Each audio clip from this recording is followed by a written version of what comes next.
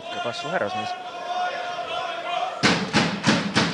Subbotini karjäär on olnud jah selline, et mäletame hooaega, kui ta lõi Levadia särgis meistriliigas circa kolmkümmend ja nüüd on oi, oi, oi, oi, oi ja Vladimir, Vladislav Momutov